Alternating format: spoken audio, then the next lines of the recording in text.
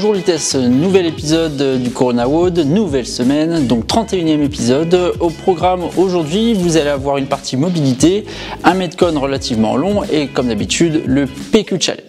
Avant cela, je vous donne l'échauffement. L'échauffement, vous aurez trois tours à réaliser. Sur ces trois tours, vous aurez 5 inchworm. Donc inchworm, je me penche en déverrouillant légèrement les genoux, j'amène les mains au sol, j'avance avec mes mains et puis je me redresse en essayant de garder le plus longtemps possible les jambes tendues donc j'avance avec les mains, je recule avec les mains.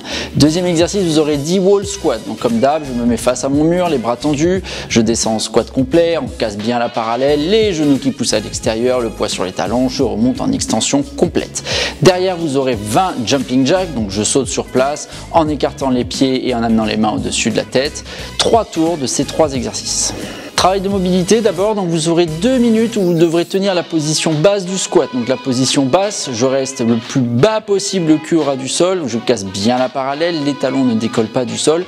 Pas grave si jamais j'arrondis le bas du dos. Le but pour vous est vraiment d'assouplir au niveau de vos hanches et de vos chevilles. Donc deux minutes en cumulé, faites des pauses s'il le faut.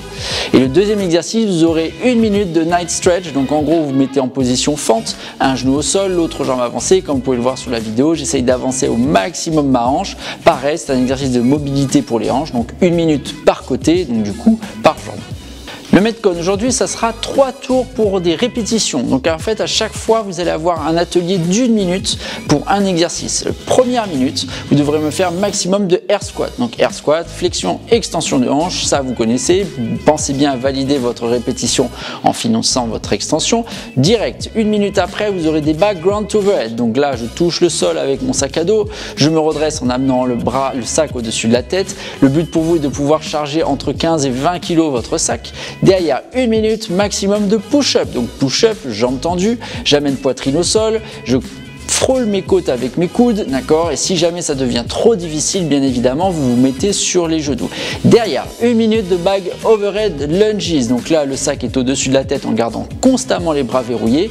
Et je fais des fentes, donc en alternant jambe droite, jambe gauche, maximum de répétitions pendant une minute. Derrière, vous aurez une minute maximum de burpees. Burpees, tout le monde connaît, hanche, poitrine au sol, je m'écrase comme une merde au sol, je ramène les pieds et je clappe les mains au-dessus de la tête pour finir mon extension. Derrière, vous aurez une minute de récupération. Pour le coup, vous devrez faire trois fois cet enchaînement et vous devrez tout simplement cumuler le nombre de répétitions pour tous les exercices qui établira votre score sur le Metcon du jour. Le PQ Challenge, aujourd'hui, gainage. Donc on gardera le PQ dans les mains ou dans une main comme vous le souhaitez. Vous devrez me faire 3 tours sans vous arrêter de 10 V-up suivi de 20 hollow hold. D'accord? Donc vous tiendrez la position. Le but c'est de ne jamais relâcher, jamais reposer les pieds une fois que vous avez commencé vos 3 séries.